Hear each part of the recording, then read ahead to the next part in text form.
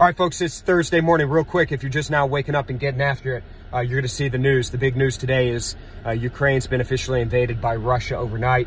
Uh, Russia made its way into Kiev. Um, the markets, as you would expect, are reacting in a big way. So, stock market across uh, the board, Dow Jones, Nasdaq, S&P, all down uh, to the tune of two and a half to three and a half percent in the uh, in the Nasdaq. So tech stocks really getting hit hard. Uh, the dollar rallying hard as you would expect. So the dollar's up, significant strength.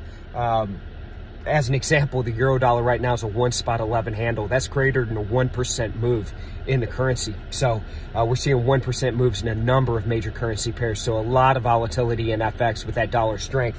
Oil up uh, nearly 8%. We're trading at $100 a barrel in WTI and gold also trading uh, significantly higher. So uh, we've got a VIX sitting at 30 right now. We've now broken above 30. So we've got a significant amount of volatility, which obviously uh, does create some opportunity with these wild price swings. Uh, that being said, uh, let's be mindful. Uh, let's make sure that we've um, well, we've got our focus on today. If we are in there trading, uh, keep track of those positions and trades uh, and make sure that we're, we're at the ready. So uh, you don't necessarily have to ride something to expiration. If something's moving against you um, or perhaps it's moving in your favor, you have the ability to exit those trades early uh, and either cut your losses and or take profits early. So with these wild price price swings, you got to be ready.